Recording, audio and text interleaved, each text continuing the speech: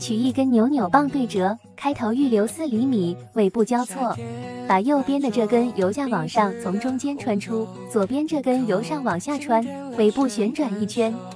同样的，右边由下往上穿，左边由上往下穿。整理整理花瓣的形状，然后将两个尾巴拧在一起，花瓣捏出小船的幅度。一朵花需要六片花瓣，给花瓣涂上色粉，渐变的效果就出来了。叶子用两根扭扭棒在中间交叉处固定，尾部三厘米左右拧紧，捏出叶子的形状。一朵花做两片叶子，然后组装。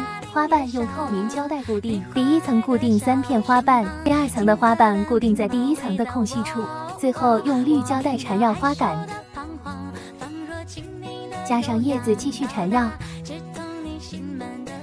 圆滚滚的郁金香就完成啦！快艾特你的手给你做。